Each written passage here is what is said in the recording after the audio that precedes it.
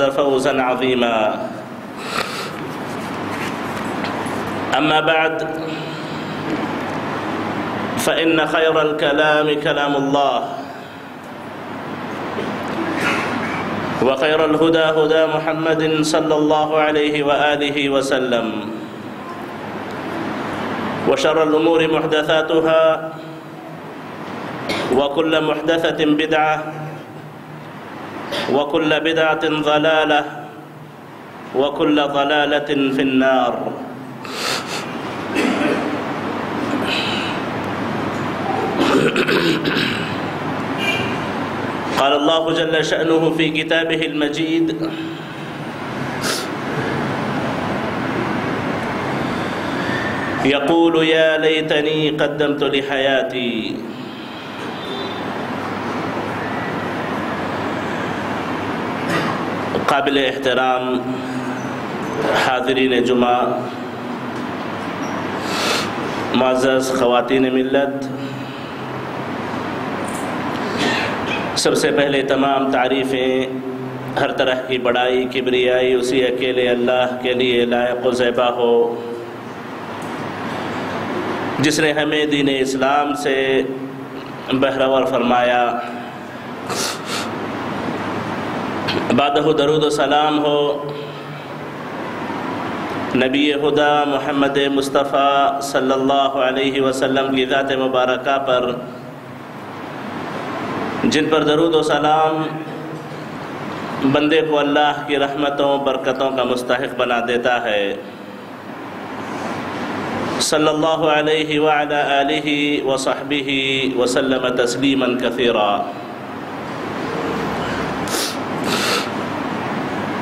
मज़स हाजरीन इमाम मुस्लिम इमाम अहमद इमाम तिरमिदी और मुख्तलिफ़ कराम ने माँ आयशा सिद्दीक़ा रज़ी अल्लाह तहा की हदीस से नबी करीम सलाम की ज़िंदगी का एक वाक़ नकल किया है। आयशा सिद्दीक़ा रफ़ी अल्लाह तहा कहती हैं कि एक रात, जिस रात नबी करीम सलाम की मेरे पास बारी थी, आपको मेरे यहाँ रात गुजारनी थी। नबी करीम सलाम रात गए मेरे पास आए। आपने दरवाज़ा खोला, बिस्तर के करीब अपने चप्पल लगाए, अपनी जूतियाँ उतारी, बिस्तर को साफ़ किया, कपड़े रखे और लेट गए। और अभी आप पूरे तरीके से लेटे भी नहीं थे, कि आपने मुझे देखा आपको लगा कि मुझे नींद लग चुकी है। जैसे ही आपको लगा कि मैं सो चुकी हूँ, बड़ी आहिस्तगी से आप बिस्तर से उठे। आपने अपने कपड़े लिए, अपनी जूतियाँ पहनी, दरवाज़ा बड़ी आहिस्तगी से खोला, बाहर निकल गए। बाहर से आपने दरवाज़ा बंद कर लिया और चले गए। जब मैंने देखा कि अल्लाह के नबी जा चुके हैं तो मुझे ये बदगुमानी हुई। मुझे ये ख्याल आया कि कहीं ऐसा तो नहीं है कि अल्लाह के नबी अलैहिस्सलाम मुझे सोता देख करके अपनी किसी और बीवी के यहाँ चले गए हों। तो मैं भी उठी। मैं नबी करीम अलैहिस्सलाम के पीछे गई। मैंने आपका पीछा किया। मैंने देखा कि नबी करीम अलैहिस्सलाम बकी वाले क़ब्रस्तान में हैं। क़ब्रस्तान में खड़े मुसलमानों, मोमिनों के हक़ में दुआ गो हैं। दुआ फरमा रहे हैं।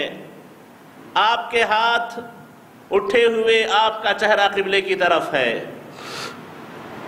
मैंने जब मंजर देखा तो मैं पलटने लगी। इतने में अल्लाह के नबी भी पलटे। अल्लाह के नबी आने लगे। मैं अपने घर की तरफ़ चलने लगी। नबी करीम सलाम ने महसूस किया कि किसी ने आपका पीछा किया है। आप थोड़ा तेज चलने लगे, मैं भी तेज चलने लगी। यहाँ तक कि मैं बचते बचाते अपने घर पहुँच गई और मैंने ओढ़ लिया, मैंने ऐसे ज़ाहिर किया जैसे मैं सो रही हूँ।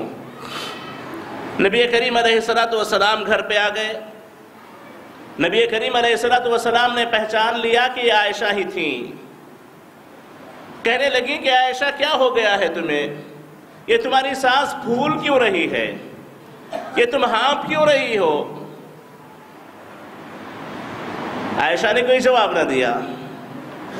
नबी करीम सलाम ने पूछा, अदनित व रसूल अजा के शैतानुक?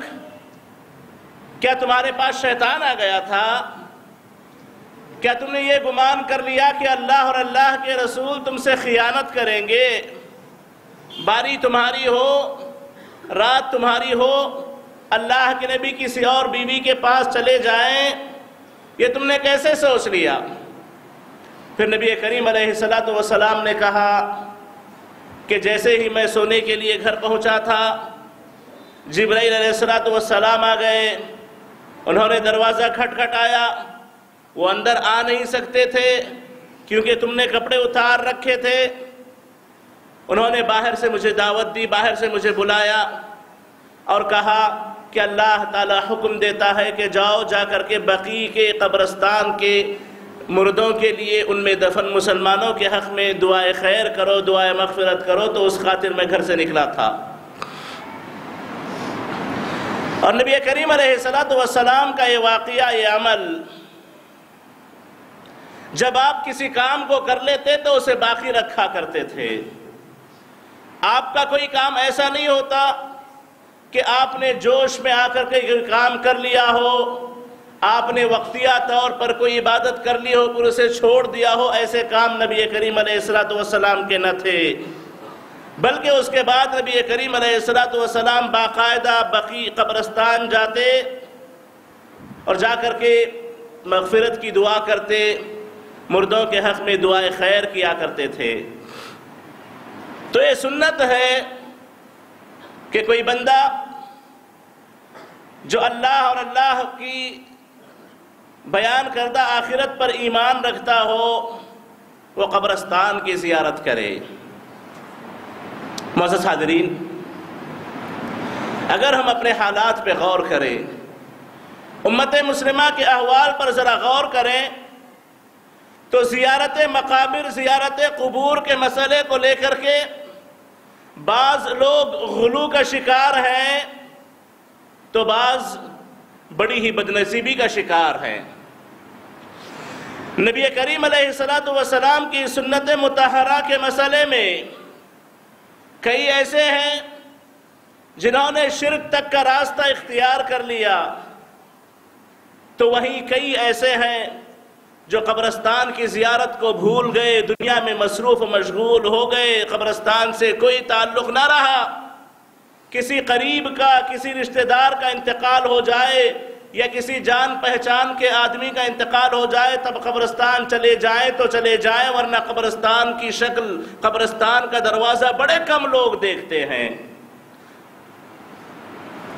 और मोसस हादरीन इंसान अपनी ज़िंदगी का मकसद समझे। उसे अल्लाह ने दुनिया में दुनिया की खातिर पैदा नहीं किया।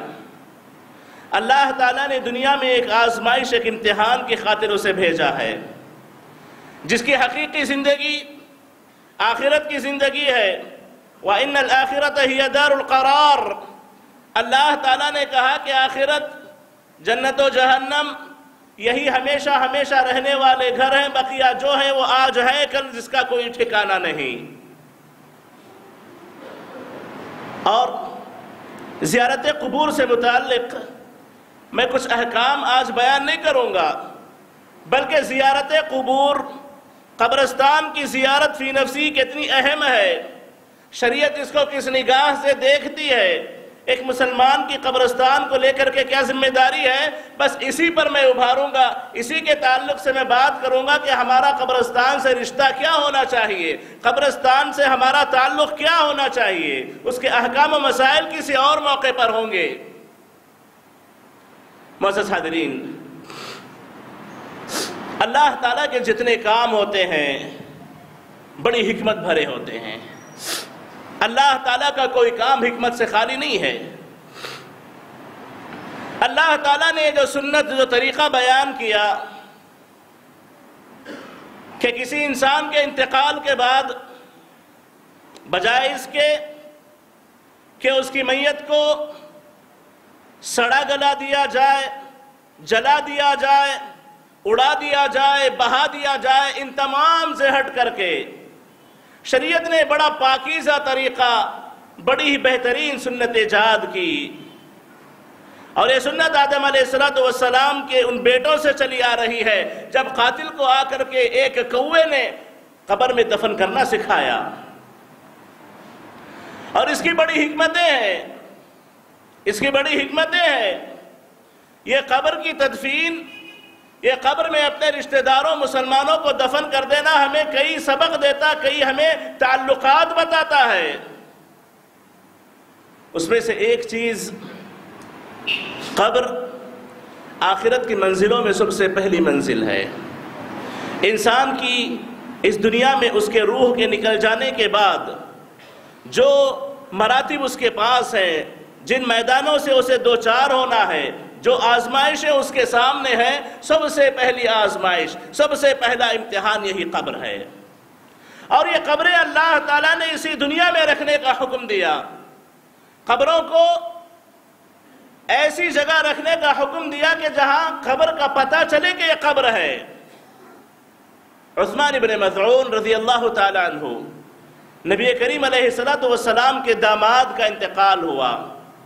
उस दामाद का जब दफन हुआ नबी करीम सलाम ने उनकी कब्र को थोड़ा सा ऊँचा बनाया। उनकी जगह पर एक पत्थर निशान के तौर पे लगाया और कहा कि ये पत्थर हमें बताएगा, ये पत्थर हमें निशानी देगा कि यहाँ फुला की कब्र है ताकि हम उसकी जियारत कर सकें, ताकि हम उसके पास बार बार आ जा सकें। और उसके रिश्तेदारों को उसके आसपास हम दफन कर सके। इस पहचान की खातिर नबी करीम सलाम ने उस्मान इबन मजरून रज़ी अल्लाह तु की कब्र पर निशान लगवाया, जो इस बात की दलील है कि कब्र ऐसी कोई चीज़ नहीं है कि बंदा दफन कर दे और उसे मिटा दे, उसे भूल जाए। बल्कि कब्र वो है कि बंदा दफन करे तो उसे याद रखे, उस पर निशानी हो, उसकी जियारत करे और उसके पास आने जाने का एक रास्ता खुला रखे।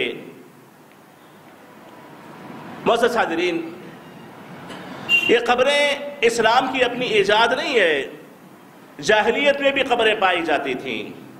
वो लोग भी दफन किया करते थे। लेकिन यही खबरें जाहलीत के ज़माने में उन लोगों के लिए शिरक का बायस बनने लगी। शिरक का बायस बनने लगी। खबरों पर चले जाते, खबर वालों से मांगने लगते उनसे मदद तलब करते, उनसे मुख्तलिफ़ किस्म की शिरकियात उनके साथ किया करते। नबी करीम सलाम ने जब यह हालत देखी, मुसलमानों को रोक दिया कि कब्रस्तान की जियारत न किया करो। खबरों के करीब भी न जाया करो। यहाँ तक कि मुसलमानों का ईमान, सहाबा के दिलों में ईमान पुख्ता हो गया। अल्लाह पर अल्लाह पर यकीन, अल्लाह की तोहहीद जब उनके दिलों में मज़बूत हो गई वो हर नफा नुकसान सिर्फ़ अल्लाह के हाथ में देखने लगे। शिरक के हर किस्म से उन लोगों ने अपने आप को बचा लिया। तो नबी करीम सलाम ने कहा, अला तो नहैतुकुम अन ज़ियारतिल फजूरूहा आखिरा कि मैंने तुम्हें कब्रस्तान की जियारत से पहले रोक रखा था। पहले मैंने तुम्हें कब्रस्तान की जियारत से रोक रखा था। अब जियारत कर लिया करो। अब जियारतें किया करो। फ़िन्नखिरा याद रखो, ये कब्रस्तान की जियारत तुम्हें तुम्हें तुम्हारी आखिरत याद दिलाएगी। तुम्हारा हिसाब किताब याद दिलाएगी। तुम्हारी मौत याद दिलाएगी।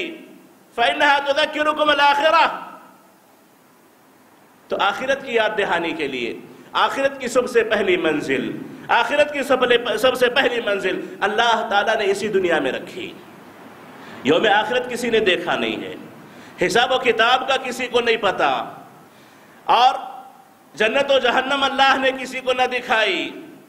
लेकिन आखिरत की मंजिलों में से एक मंजिल अल्लाह ताला ने इसी दुनिया में ज़िंदा रखी, ताकि मुसलमानों का ईमान आखिरत पर मज़बूत रहे। और उसकी जियारत, उससे ताल्लुक और उसकी तरफ़ बार बार आने जाने का हुक्म दिया और कहा कि फ़ैन नहा तो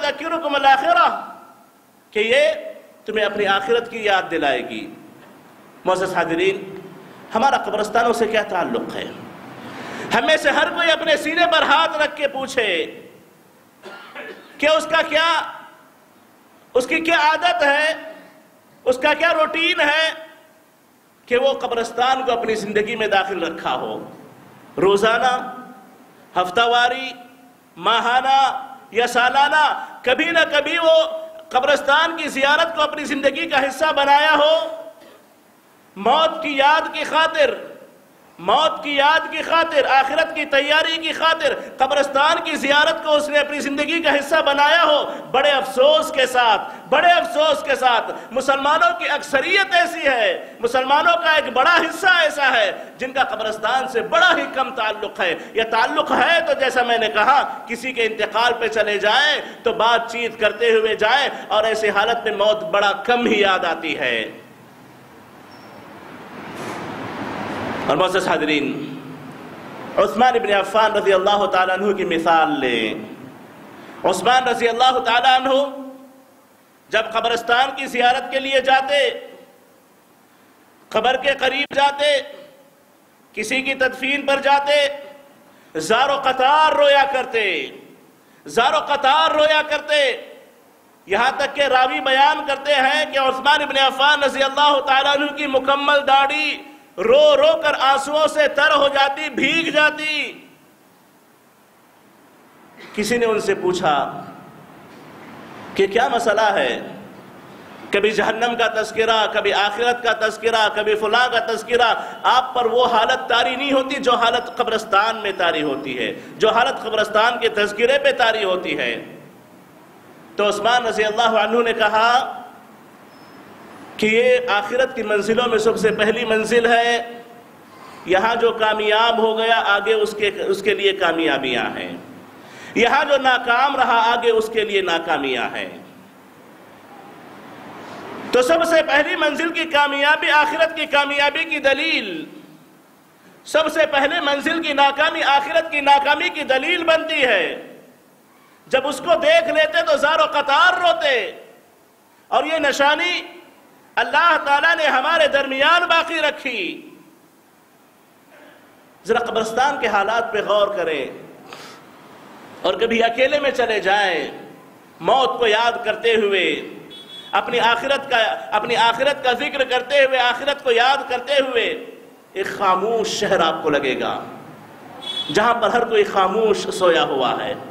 जहाँ पर ना कोई चहल पहल, न कोई आवाज़, ना कोई ले दे बिल्कुल खामोशी का समा है। खामोशी अपना राज जमाए हुए है। ये वो जगह है जहाँ आपकी भी जियारत है। और पता नहीं कब हो, अगले पल, अगले दिन, इसके कोई जमानत नहीं है। और अल्लाह ने कुरान मजीद में कहा कि अल्लाह को मुतकाबिर के दुनिया में और और और की हिरस ने तुम्हें इतना गाफिल कर दिया कि तुम कब्रस्तानों की जियारत भी करते हो, तुम्हें नसीहत नहीं मिलती, तुम्हें सबक नहीं मिलता। या तुम लोग इतना गाफिल हो गए हो कि तुम्हारी अपनी मौत भी आ जाए तो तुम इस दुनिया से पीछे हटते नहीं हो। तमाशा सादरीन कब्रस्तान की जियारत ज़िंदगी का एक हिस्सा है। और कब्रस्तान की जियारत न करना आखिरत से गफलत करने के बराबर है। कब्रस्तान की जियारत न करना, यह अपने अपने दिलों की सख्ती का एक सबसे बड़ा सबब है। और मोहस हाजरीन दिलों की सख्ती अल्लाह की तरफ़ से एक बहुत बड़ा अजाब, बहुत बड़ी सजा है। बहुत बड़ी पकड़ है कि इंसान का दिल सख्त हो जाए। और दिलों की सख्तियों के कम करने का इलाज शरीयत मुतहरा में जो बताया गया, उसमें से एक कब्रस्तानों की जियारत है। कब्रस्तानों की बंदा जियारत करे, याद रखिए, अल्लाह ताला दिलों में नरमी पैदा करेगा। दिलों में नरमी पैदा होगी। और जो कब्रस्तान की जियारत को अपनी ज़िंदगी का हिस्सा ना बनाए, याद रखे, आखिरत उसके जहन दिमाग में नहीं हुआ करती, वो आखिरत से गाफिल हुआ करता है। और यही वजह है कि हम कारोबार में हराम कर ले, हमें अल्लाह का कोई डर नहीं होता। हम नमाज़ छोड़ दे, हमें कोई डर नहीं होता। हम हज़ार नाफरमानियाँ कर ले, हमें कोई एहसास नहीं होता। चाहे हमारे ज़िंदगी में जो ऊंच नीच हो जाए, शरीयत की धज्जियाँ उड़ जाए, हमें उसका कोई ख्याल नहीं होता। क्योंकि हमने कब्रस्तान की जियारत तर्क कर दी है। हमें अपनी अगली ज़िंदगी से जो ताल्लुक बनाने का जो ज़रिया बयान किया गया, जो ज़रिया रखा गया, उस ज़रिए से हमने अपना ताल्लुक काट लिया है। तो हाजरीन कब्रस्तान से अपना ताल्लुक, कब्रस्तान की जियारत अपनी ज़िंदगी का हिस्सा बनाए। हम बड़े मोहताज हैं। हम बड़े मोहताज हैं कि हम कब्रस्तान जाएँ, अपनी आखिरत को याद करें, अपनी आखिरत की तैयारियाँ करें।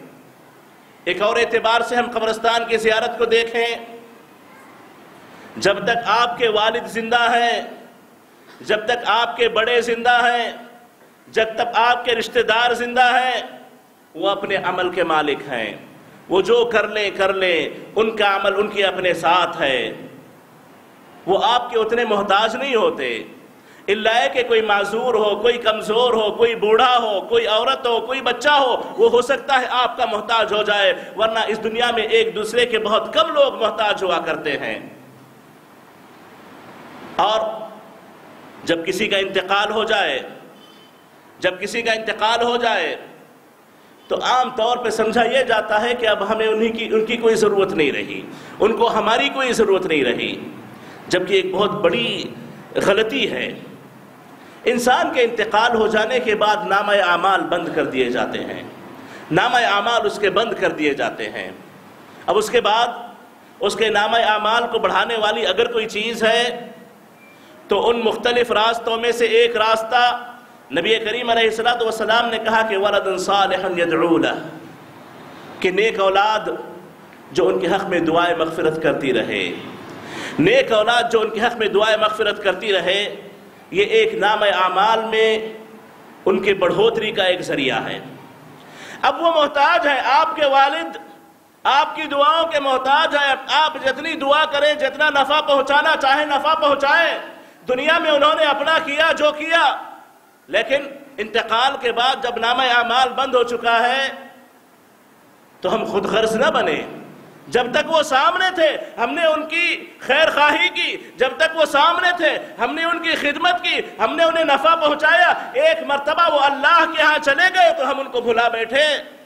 हमने उनसे अपना ताल्लुक काट लिया, जबकि दर हकीकत, वो हमारी दुआओं के मोहताज हो सकते हैं। हमारी दुआओं के बदौलत उनकी मगफरत हो सकती है। हमारी दुआओं की बदौलत उनके दर्जात की बुलंदी हो सकती है।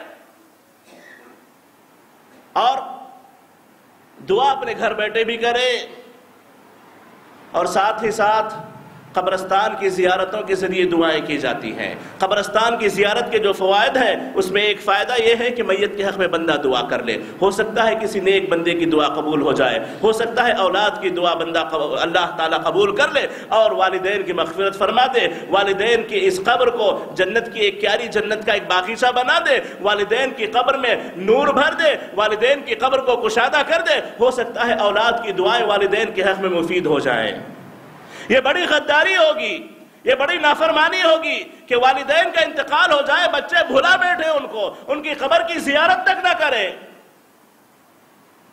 मोजस वो मोहताज हो सकते हैं। और इसी तरीके से अगर आपका किसी मैयत से कोई रिश्ता ना हो ना हो, लेकिन अल्लाह ने हमें तरीका सिखाया, कहा, वल्लजीना जाओ मिम्बादिहिम यकूलून, रब्बना इग़फिर लना, वल इखवानी अल्लजीना सबक़ूना बिल ईमान।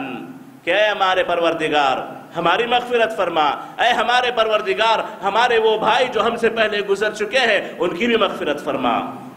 ये दुआ का तरीका अल्लाह के नबी सलाम ने सिखाया। ज़रूरत इस बात की है कि इस कब्रस्तान की जियारत को अपनी ज़िंदगी का हिस्सा बनाए। हाँ जुमा के साथ खास ना करें, ईद के साथ खास ना करें, किसी दिन के साथ खास ना करें। हाँ आपकी जब सहूलत है आपको किसी दिन छुट्टी है, आपको किसी दिन वक्त फारिग मिल जाए यकीन कब्रस्तान की जियारत करें, आपके अपने रिश्तेदार हों, उनके हक में दुआ करें, रिश्तेदार ना हो, आम मुसलमानों के हक में दुआ करें, नबी करीम सलाम कहते हैं, अगर कोई बंदा अगर कोई बंदा ये अल्फाज कह दे या ये दुआ कर दे कि अल्लाह, मोमिन मर्द और मोमिन औरतों की मखफरत फरमा तो अल्लाह ताला इसके बदले में जितने मुसलमान आज तक इस दुनिया से मर्द औरत गुजरे होंगे, उन तमाम मुसलमानों की तादाद के बराबर अल्लाह ताला इसके हक में नेकियाँ लिख देता है। बस ज़रूरत इस बात की है कि बंदा मुसलमान मर्द और औरतों की मखफरत की दुआ कर दे। तो मजस कहना यही है कि अल्लाह ताला ने बड़ी हिकमत के साथ इन कब्रस्तानों को हमारी इन आबादियों के दरमियान रखा है। इन कब्रस्तानों को हमारे हमारे अपने इस दुनिया में रखा है, हमारी अपनी ज़िंदगी में रखा है। इसकी बड़ी हिकमतें हैं, इसकी बड़ी हिकमतें हैं और बड़ी हिकमत ये भी है कि कब्रस्तान के अंदर, कब्रों के अंदर मदफून लोगों के हालात को भी अल्लाह ने छुपाए रखा। कब्रस्तान के अंदर जो मदफून लोग हैं जो मैतें दफन है, उनके हालात भी अल्लाह ने छुपाए रखे, इसका भी हम पर बड़ा एहसान है। वरना कब्रस्तान की जियारत मुश्किल हो जाती, कोई कब्रस्तान की जियारत न कर पाता।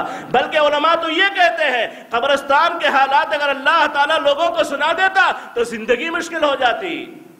पता नहीं कितने लोग अजाब में हो, कितने लोग तकलीफ़ में हो, कितनों की चीखो पुकार हो, बल्कि नबी करीम सलाम कहते हैं, हिसाब किताब के शुरू होते ही जब फरिश्ता आएगा, हिसाब किताब में गलती होगी, ऐसी मार सर पे मारेगा कि अगर वो पहाड़ पे मार दे तो पहाड़ चिकना चूर हो जाए, उस मार को खा करके मैयत ऐसी चीख मारेगा कि सिवाय इन जिन के हर मखलूक उसको सुनेगी। सिवाय इन जिन के, हर मखलूक उसको सुनेगी। अल्लाह का एहसान है कि अल्लाह ने इसको हमें नहीं सुनाया। अल्लाह का एहसान है कि खबरें हमारे दरमियान होने के बावजूद उसके अंदर के हालात हमें नहीं पता। लेकिन हमें यकीन है, हमें ईमान है कि अल्लाह के नबी ने जब ये बातें कही हैं तो ये हक है, ये होके रहेंगी। तो मोज़ हाजरीन अल्लाह के इन अहकाम की हमतों को समझें, अपनी ज़िंदगी की हकीकत को समझें, आखिरत को याद रखें। अल्लाह ने हमें आखिरत के लिए पैदा किया। अल्लाह ने हमें उस आखिरत की कामयाबी के लिए पैदा किया। अल्लाह ताला से दुआ है कि अल्लाह ताला हमें अपनी ज़िंदगी सोच समझ कर पूरी इबरत के साथ गुजारने की तोफ़ी नसीब फरमाए। अकुल कौल हदा वस्तफ़िरुल्लाह ली वलकुम वलिसाइल मुस्लिमीन मिन कुल्लि ज़ंबिन फस्तग़फिरू इन्नहु हुवल गफूरुर रहीम।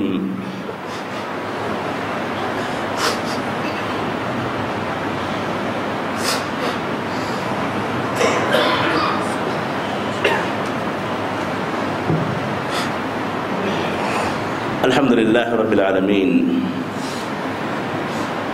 वसलात वसलाम अला नबीना मुहम्मद वअला आलिहि व सहबिहि अजमईन वमन तबिअहुम बिइहसान इला यौमिद्दीन अम्मा बाद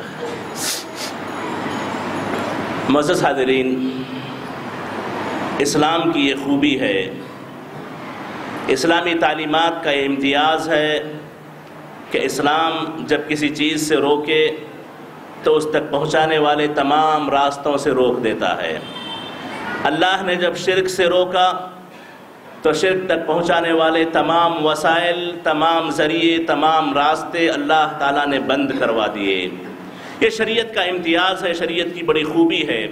और ये बेवकूफ़ी होगी, ये बेवकूफ़ी होगी, कमाकली होगी कि बंदे को किसी चीज़ से रोका जाए और उस तक पहुँचाने वाले रास्ते उसके लिए हलाल कर दिए जाएँ।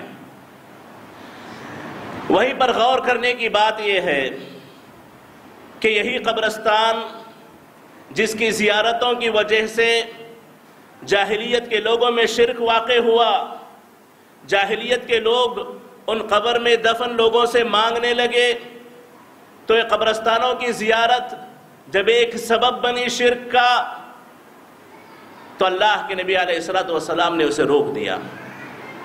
लेकिन एक मुसलमान की ज़िंदगी के लिए कब्रस्तान की ज़ियारत बड़ी ज़रूरी है। एक मुसलमान की आखिरत की याद दहानी के लिए इन कब्रस्तानों की तरफ़ आना जाना एक उसका फरीज़ा है, एक उसकी ज़िम्मेदारी है। और इसके बगैर उसकी आखिरत की याद बड़ी कमज़ोर पड़ जाएगी, मौत की याद बड़ी कमज़ोर पड़ जाएगी। तो अल्लाह ताला ने इस वसीले को या इस ज़रिए को जो जाहलीत में शिरक का ज़रिया बना, इसकी अहमियत की खातिर, इसके बड़े फ़ायदे की खातिर, इसकी ज़रूरत की खातिर अल्लाह ताला ने इसको जायज़ करार दिया। लेकिन ये बात कह दी कि वला तकुल हुजरा। नबी करीम सलाम ने कहा कि कब्रस्तान की जियारत करो तो जाकर के बातिल बातें ना कहो, गलत बातें ना कहो। कब्रस्तान की जियारत से नहीं रोका, कब्र के पास जाकर के शिरक करने से रोका, कब्र के पास जाकर के कब्र वाले से मांगने से रोका, लेकिन कब्रस्तान की जियारत पर अल्लाह ताला ने नबी करीम सलाम ने रोक नहीं लगाई। तो इससे यह पता चला कि कोई मामूली बात नहीं है, बड़ा अहम मसला है। इंसान की ज़िंदगी के लिए बड़ी अहम महमेज का काम यह करती है कि बंदा अगर कब्रस्तान की जियारतों को भूल जाए, आखिरत से गाफिल हो जाएगा। तो मसस हाजरीन शिरक के वसीले जहाँ पर रोक दिए गए। अगरचे के वसीला बना था, लेकिन अल्लाह ताला ने उसके बाद वाले शिरक को रोका। लेकिन इस वसीले को, जो किसी वक्त वसीला था, अल्लाह के नबी सलाम ने ज़रूरत की खातिर, अहमियत की खातिर जायज़ करार दिया कि बंदा जाए, कब्रस्तान की जियारत करे, कब्रस्तान में जो मदफून है, उनके हक में दुआएँ मगफरत करे, अपनी मौत को याद करे, आखिरत की तैयारी करे, लेकिन अपने आप को शिरक से महफूज रखे, शिरक से बचाए रखे। और हाजरीन, खबरस्तानों की जियारत से मुराद वो लोग जो किसी दरगाह की जियारत कर ले, जिस पर बाकायदा कोई छत बना हो, कोई गुंबद लगा हो, जहाँ पे फूल चढ़ते हो, हरियालियाँ हो, जहाँ पर रंगीनियाँ होती हो, जहाँ पे उर्स लगता हो, कसम अल्लाह की वहाँ पर अल्लाह याद नहीं आता। वहाँ पर अल्लाह याद नहीं आएगा, किसी वेरान कब्रस्तान को आप जाए। किसी वीरान कब्रस्तान को आप जाए, हो सके आप अकेले जाए, अपनी मौत को याद करें, वहाँ पर मदफून लोगों को उनके हक में दुआएँ, मगफिरत करें, तब आपको पता चलेगा कि मौत क्या चीज़ है। तब आपको यकीन होगा कि हमें भी यहाँ पे आना है। तब आपके दिल में एक ईमानी कैफियत पैदा होगी। इसकी बड़ी ज़रूरत है। इसकी हमारे मुआशरे में बड़ी कमी है। क्या नौजवान, क्या मर्द, क्या औरतें, क्या बच्चे, क्या बूढ़े, हर एक को इसकी ज़रूरत है। और यहाँ पर एक और बात की, हल्की सी वजाहत भी कर दूँ कि औरतों के ताल्लुक से आम तौर पर माशरे में यह मशहूर है कि औरतें कब्रस्तान की जियारत नहीं कर सकती। मोज़ हादरीन जिस तरीके से एक मर्द आखिरत की याद का मोहताज है, आखिरत की तैयारी की उसे ज़रूरत है, औरत भी उसी कदर मोहताज है, औरत को भी उसी कदर ज़रूरत है। बल्कि नबी करीम सलाम की ज़बानी नबी करीम सलाम की ज़बानी जहन्नम में कसरत औरतों की है। जहन्नम में कसरत औरतों की है। औरतें ज़्यादा हक रखती हैं कि वो आखिरत को याद करें। उन्हें अपनी आखिरत याद दिलाई जाए। वो अपनी मौत के बाद की ज़िंदगी को अपने सामने रखें और जो वसीला, जो ज़रिया अल्लाह ताला ने मौत आखिरत को याद करने का इस दुनिया में हमारी आबादियों के दरमियान रखा, उसके ताल्लुक से उन्हें महरूम करना। अगरचे के इसमें मुख्तलिफ़ अकवाल हों, अगरचे के उलमा के मुख्तलिफ़ इख्तलाफात हों, लेकिन सही कौल ये है, ज़्यादा राजह बात यह है कि औरतें कब्रस्तान की जियारत करें, उन्हें पता चले कि मौत क्या चीज़ होती है, उन्हें पता चले कि कब्रस्तान क्या है, उन्हें पता चले कि उनको वहाँ पर आके सोना है, जिसकी तैयारी करने का उन्हें भी हुक्म मिला है। इसके दलाइल अपनी जगह। मैं दलाइल की तरफ़ नहीं जाऊँगा। मैं उसकी तफसीर बयान करना नहीं चाहता। लेकिन बस इतना कह दूँ कि जिस तरीके से मर्द कब्रस्तान की जियारत का मौत की, याद का, आखिरत की तैयारी का मोहताज है, वैसे औरतें भी मोहताज हैं। औरतें भी मोहताज हैं। बस एक बात की थोड़ी सी एहतियात कर लें। औरतें कसरत से जियारत ना करें। औरतें कसरत से जियारत ना करें क्योंकि नबी करीम सलाम की एक सही हदीस में अल्फाज है कि नबी करीम सलाम ने उन औरतों पर लानत की है जो कसरत से कब्रस्तान की जियारत करती हैं। उसके बड़े नुकसान हैं औरतें बड़ी कमज़ोर दिल होती हैं। बार बार जियारतें उन्हें इस, दुनिया के हकूक़ से गाफिल कर सकती हैं शोहर के हकूक़ से गाफिल कर सकती हैं बच्चों के हकूक़ से गाफिल कर सकती हैं घर की जिम्मेदारियों से गाफिल कर सकती है। कई उसके नुकसान हैं जिसकी वजह से कस कसरत की जियारत बार बार जियारत। इससे शरीयत ने रोका है, लेकिन कभी कभार कोई औरत कब्रस्तान की जियारत कर ले, इसका अहतमाम होना चाहिए। मर्द अपनी ज़िम्मेदारी में रहे, ले जाए, कब्रस्तान दिखाए, उन्हें मौत याद दिलाए, आखिरत की तैयारी की तरफ़ तरगीब दिलाए, और उनके हक, उनके ज़रिए मैतों के हक में दुआएँ करवाए। हो सकता है इनकी दुआएँ कबूल हो जाए। हो सकता है उनकी दुआओं से किसी की मगफरत हो जाए, किसी के कब्र में रोशनी आ जाए, किसी के कब्र में कुशादगी आ जाए। तो मासस हाजरीन जैसे मर्द मोहताज है, वैसे औरतें मोहताज हैं कि वो भी आखिरत की तैयारी करें। बहरहाल, खुलासा यही है कि हम अपनी ज़िंदगियों में कब्रस्तान का हिस्सा ज़रूर रखें। अपने दिनों रात में कब्रस्तान के लिए वक्त ज़रूर रखें। ज़ियारत का वक्त ज़रूर निकालें। ज़ियारत ज़रूर करें। कब्रस्तान आए जाए। ख़ास तौर पर अपने एरिए के जो कब्रस्तान हो या जिस पर भी गुजर हो, कब्रस्तान के अंदर जाएँ।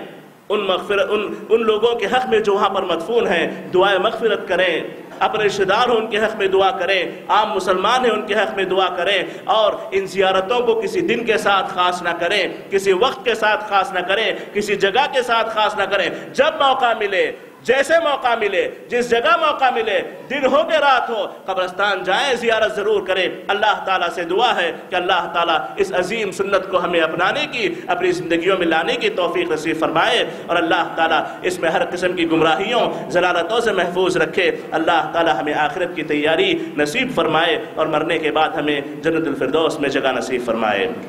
इन अल्लाह व नबी या अय्युहल्लज़ीना आमनु सल्लु अलैहि व सल्लिमु तस्लीमा अल्लाहुम्मा सल्लि अला मुहम्मद व अला आलि मुहम्मद कमा सल्लैता अला इब्राहीम व अला आलि इब्राहीम इन्नका हमीदुम मजीद अल्लाहुम्मा बारिक अला मुहम्मद व अला आलि मुहम्मद कमा बारकता अला इब्राहीम व अला आलि इब्राहीम इन्नका हमीदुम मजीद